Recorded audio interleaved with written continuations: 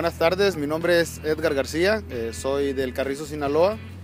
Eh, estoy viviendo en la ciudad de Guadalajara y traje unas imágenes a exponer, son 20, sobre el ingenio de los mochis, para que quede registro de la historia este, y que sigan contando la historia de, del ingenio ahora que lo van a, desmantelar.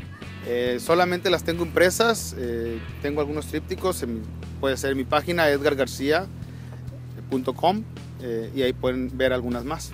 Por el momento solamente me podrían contactar al 33 10 87 33 33, es mi celular, para que las puedan apreciar, tengo bastantes.